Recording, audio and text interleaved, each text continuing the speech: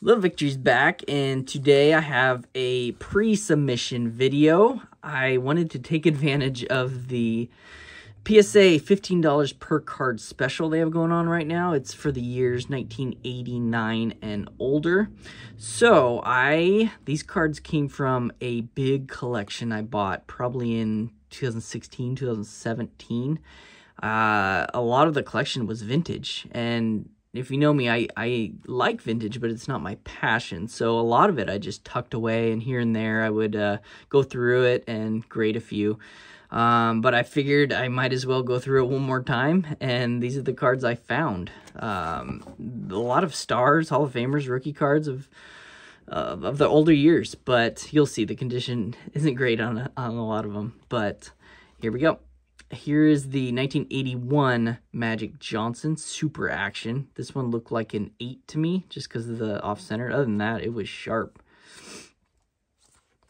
Uh, here's a Dantley Hall of Famer. This is rookie card from 1977, Topps. Uh, it looked great other than a ding. It looks like a 7 to me, so I think it'll grade a 7. Adrian Dantley. Here's a Moses Malone rookie. So, if you heard me talk about tilt cuts, this is the ultimate tilt cut. Look at that. Look how thin it is and thick there. I don't know how PSA is going to grade this tilt cut. Um, but other than that, it would look like an 8 um, without the tilt cut. But with the tilt cut, I'm going to give it a 6. I'm going to say they give it a 6. Here's a Pistol Pete Maravich. That's a good looking card. I love the look of these 1970s basketball cards. Uh, this one uh, was pretty pretty sharp. It wasn't too bad, you know, somewhere on the back. A little off center, obviously. But I'm going to put it at like a, uh, a 6 or 7 for the Pete Maravich. Here's a Jerry West, same year, 74 uh, for the Lakers. The logo man himself. Uh, this one looked like a uh, same, about a 6 or a 7. I think a 7 on that one. Here's an Oscar Robertson. I love the look of this card and this year, 1972 Topps. Um, as you can see right there, a lot of uh, corner wear, but there's no creases, which I liked about this. So I'm going to put this at a, a 4 or a 5, somewhere around there, hopefully a 5. Uh, Dan Issel, he's a Hall of Famer, and this is his rookie card. So, uh, other than this little light kind of stain right here, it looked pretty good. I'm going to put it at a 6. We'll see. We'll see how accurate I am with vintage. Uh, here's a Rick Barry. So this one had no creases, but you can see it's pretty beat up. Look at the corners right there. Um, and a little surface indent right here, but no creases. Rick Barry, and it's this rookie card of a Hall of Famer. Uh, I'm going to put this at uh, like a 4. We'll see. We'll see what that one gets. Maybe even a 3. I'll put it at a 3 or 4. This one's the most beat up card in the order, but it's Wilt Chamberlain, and it's the years I love. It's still 1971. Um, I mean, look at all the creases. but, you know, I, uh, I have trouble selling vintage raw because, you know, I don't know what to say condition, you know, when I'm selling them. It's just easier to sell when they're nice and slabbed with an assigned grade. It's just easier for me to sell on eBay. So I assume this will get a 1 for the Wilt Chamberlain, but someone out there will want a 1, hopefully. John Havlicek, same year, 71s. Uh, this one looked closer to a 5 to me, 5 or 6. We'll see. Uh, now we got some really clean ones. So in this order, I might even get some Gem 10s. And this is one of them I'm hopeful. Robert Brazile. He, uh, this is 1979, but look how clean it is. It looks like a 9 or a 10 to me. So sharp. These are pack fresh. And this Greg Pruitt. This one, if there is one card that's going to get a 10 in this order, it's this one. No printing defects. Sharp as can be. So centered. Right there. Jim Marshall. I know he's not a big name, but uh, at the end, it looked like a 10 to me, so we'll see. This name you guys recognize, Ahmad Rashad. Back in the day, I hope you guys watched Inside Stuff. Um, you know, great commentator for years and years, and he played football. So this one was clean as well, a little off-center, but it looks at least like a 9. There you go. Jeff Van Note. He's not a Hall of Famer, but I think he was like a six-time Pro Bowler, and this is his rookie from 1975 Topps. It looked like an 8 to me. I'll put it at an 8. It's nice and sharp. Mean Joe Greene, This is, I believe, his second year card out of 72 Topps. It looked pretty good. It had one ding on it, if I remember correctly. I think it'll grade around a 6 or a 7. We're getting into the 72s. This is Dick Butkus of the Bears. This one also had a ding right there. See that? Other than that, it looked pretty good. No creases or anything. I'm going to put it at a 6 for the Butkus. Ted Hendricks, he's a Hall of Famer, and this is his rookie, and it looked good. It looked pretty good. It looked like a, a 7 with a hopeful 8 because it's nicely centered. We'll see on that one. Here's a Joe Namath. Uh, this one I'm going to put at like a 6. Uh, same year, 72s on the Namath.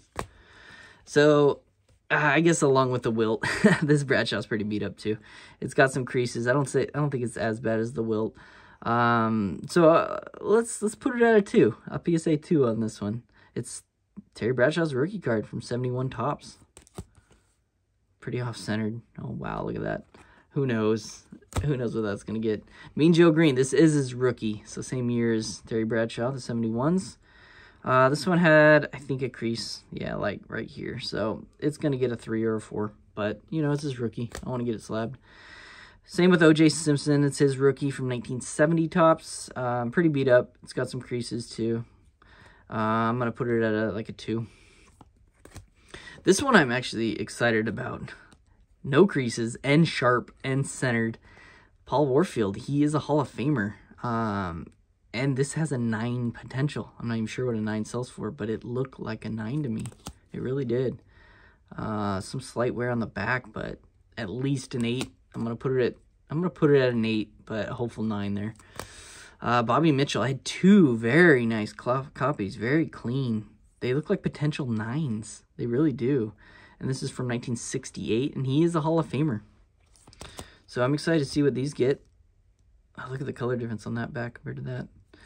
Um, I'm gonna put him at I'm gonna put him at eights, maybe one nine. Yes, let's hope. Let's hope. Here's a Y.A. Tittle. He's a Hall of Famer. I think this is a 64, 1964 Philadelphia. Um, he looked like a potential eight to me. It's sharp, just off center. Uh, here's Stan Jones from 1956 Topps. These cards were a little bit larger. Um, but this is a Hall of Famer. It's a Hall of Fame rookie card. I like grading the Hall of Fame rookie cards because people are building on the PSA set registry, so they sell pretty well. I'm going to put this at a 6. Bill Walsh. Uh, he's not the uh, the famous Niners coach, Bill Walsh. I think this is a different Bill Walsh, but pretty good player, I think, in his own right. Maybe two or three Pro Bowls. Um, what is this? 19, maybe 1954 Bowman. Uh, I'm going to put this one, it looked good. I'm going to put it at a 6, actually. All right, so now we're getting into more modern, modern vintage, is I guess what you would call it. Um, so this is 1987 Donruss. Fred McGriff. You may ask why I'm grading Fred McGriff, because he got inducted to the Hall of Fame this year. So this is from 1987 Donruss opening day version, and it is his rookie card. I know he has one 1986 rookie card, but I think that's uh, considered his XRC. So his main rookies are 87, I believe. And these look like 10s. Perfect 10s right here. Both of them. Great copies. Same with his Topps traded McGriff. It looked like a 10. Nothing wrong with it. That's for sure a 10. Uh, here's an 87 mantle. This is from Kmart. Um, I don't think there's too much value here, but it was so nice and so clean. I'd be disappointed anything less than a 10 on that one. Uh, Vince Coleman. This is, he had a few XRCs in 85, but this is his Leaf version, so a little more value to it. Uh, in 1986, his rookie. I'm going to put it at a 9 of a hopeful 10. Has a chance at 10. Here's a Wade Boggs. Man, I wish wish this wasn't off-centered. It's a 10 if it wasn't. Um, I don't know what they're going to give it. I think they'll give it an 8 just because it's pretty off-centered. I don't think it's within a 9 tolerance, but we'll see. If it is, and it is a 9. Um, but I'm going to put it at 8. Here's 1980 Nolan Ryan. Same with this card. Man, it was so sharp other than being off center. So I'm going to put it at a put it at an 8 on this one too for the Nolan Ryan. Um, this one I'm excited about. This one has a 10 potential for, for the uh, Dan Quisenberry 1980 rookie card. Um, you know, I think the Gem 10s go for around 200, so there's some value here. And the 9s got to be around 40 or 50 bucks, so I don't know. We'll see. I'm excited to see if that gets a 10. It looked good. Uh, what is this, 1979? This is the Alan Trammell. I think this is his second year, but I think it's his first standalone card where it's only him in the image. And it looked good. Looked like an 8 or 9. Uh, probably I'll put it at 9 to be, or uh, 8 to be safe. Same with the Yount. 79. I'm going to put it at an 8 to be safe, but it looked like a 9 potential. Here's, uh, you know, kind of like that Trammell. I think this is Andre Dawson's first standalone card, so it's his second year.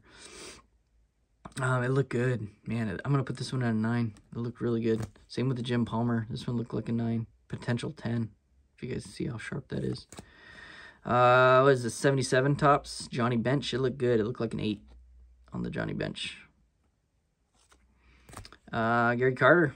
This one looked like a, it's off-center, but it looked like an 8. I might not send that one in. I'm worried they're going to bump it even lower to a 7. We'll see. We'll see about that one. I'm going to put it at an 8. Uh, what is it, 76? 1976 Hank Aaron. Centered up. Nice. Just some corner wear. I'm going to put it at a, uh, To put it at a 6 on the Hank Aaron. Here's a Mike Schmidt. This one looked good. Um, I'm going to put this one at an 8, actually. Just a little off-center, but it, this one is a lot sharper than the Hank Aaron. Tom Seaver, really good pitcher for the Mets. Uh, I'm going to put this one at an 8 too. It looked good. Uh, this one had a potential 9 actually. Just a little edge wear on the bottom, but it, you know, I'm excited to see what these some of these grade. Here's the 75, not the mini, the full-size version of the Johnny Bench. Um, this was sharp other than one corner, if you can see it right there. I'm going to put it at a 6, hopeful 7 just how sharp, sharp it is, but doubt it with that corner. This one's pretty beat up. George Brett rookie card from 75. Uh, I'm going to put this in at a, oof, a 2. I'm going to put it at a 2.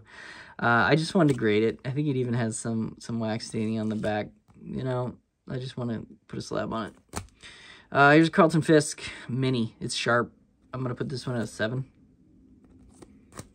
Bob Gibson, 1973 Topps. I'm going to put this one at a 6. Hank Aaron, same year from 73. I'm going to put this one at a 6 as well. I love the design of this. It's so 70s. Um, this is 72, I believe. Willie Mays, a little off-centered, corner wear. Uh, I'm going to put this one at a, I'm going to put it at like a 5. Uh, same with the Clemente. It's got some corner wear. I'm going to put this one at a 5 as well. But cool image and throwing the ball up. I, I like this card a lot. Yeah, no creases on these, which is good. I'm going to still put it at a 5. The Carlton was cleaner, uh, sharp, but off-center. So, you know, yeah, look how off-center that is. I'm going to put it at a 6. If they're feeling generous, it'll be a 7. Uh, here's Nolan Ryan. I love this image the cool ad in the background. This is, uh, what is this, 1971 Topps, very condition sensitive, and I like how it's pretty centered. It's just beat up. I'm going to put it at 3 for the Nolan Ryan. Here's a 1907 Carl Yaz. Uh, 1970, what am I going to put this one at? I'm going to say a 6. It looked pretty good. Uh, Frank Howard from 1960 rookie star. I'm going to put this one at a 6 as well. It's sharp. It has a chance at a 7, I guess. But it's really sharp. These ones were pretty beat up. But, uh, you know, I don't think this one had a crease. So I'm still put it at a 4 for the Warren Spahn. 1958 Topps All-Star. Uh, the Hank Aaron, this was more beat up and it had a few creases. I don't know, somewhere along here. Maybe it didn't, but it was just pretty ugly. corner wear. I'm going to put this one at a 3 for the Hank Aaron. Maybe even a two. I'm going to say two or three on the Hank Aaron. Don Newcombe. He, uh, what is this? Very off-center, but sharp. This is from 1958 as well. I'm going to put this one as a five. 57 Ernie Banks, uh, off center. I don't know, no creases on this Banks, I don't think. So at least it has that going for it. I'm going to put it at a 3 on the Banks. Potential 4 maybe. We'll end on Hoyt Wilhelm. He, uh, what is this, 1954 Bowman. No creases. Look like a uh, potential 6 to me. Worst case 5. Looks like a 6 though. All right, hope you enjoyed this video. Uh, we'll see how I do. I don't grade vintage a ton, so I'd love to see how accurate I am. So I'll be posting the results, you know, in about a month or so when the grades come back. All right, thanks for viewing.